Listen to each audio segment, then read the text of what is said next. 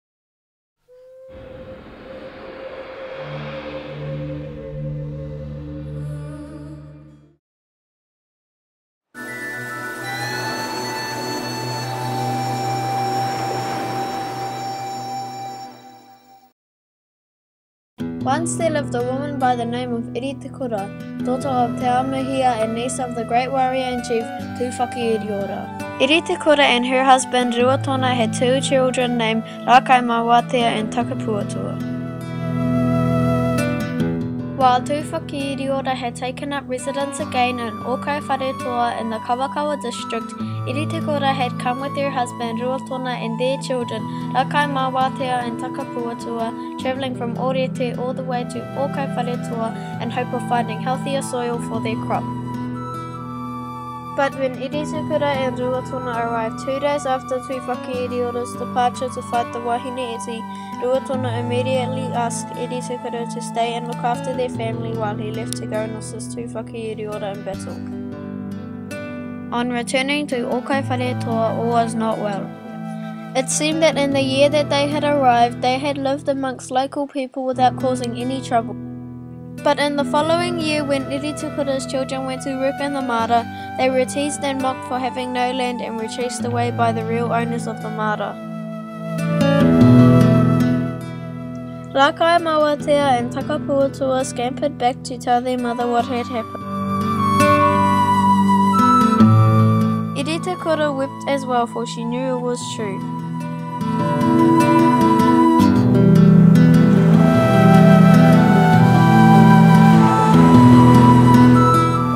Irita then decided to ask Tufaka Iriora for some land of her own.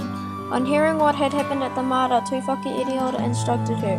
Kaore he kainga, hai hoatu tanga, māku kia koe,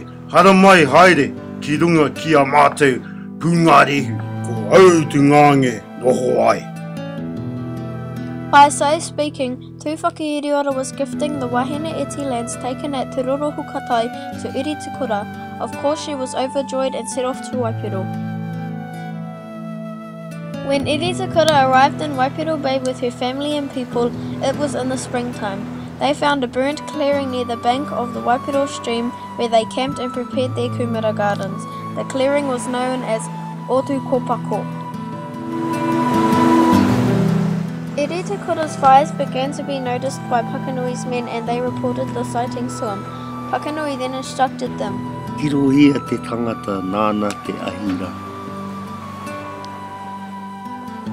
At this time, Iri te kura and her people had been preparing soil for their kumara gardens, but they had no seeds to plant, so Iri te kura asked her daughters, Rakai Mawatea and Takapua Takapuatua, to go to Papanui and ask him for some.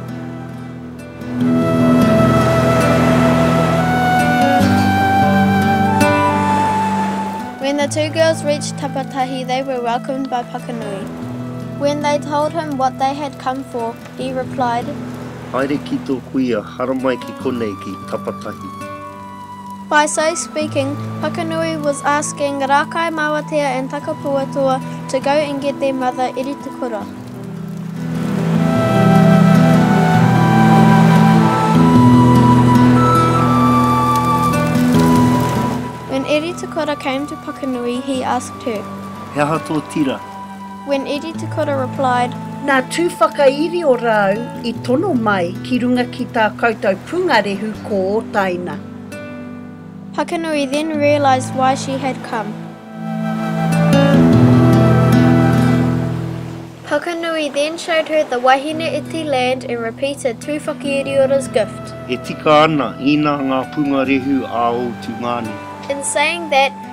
he was gifting the wahine iti land to Iritikura.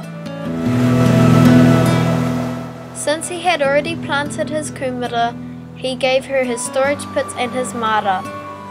Lastly, he gave her the Ngāti Whakapuke survivors as servants to work for her. A marae was built in recognition of Iritikura. It stands tall and proud, known as Iritikura Marae.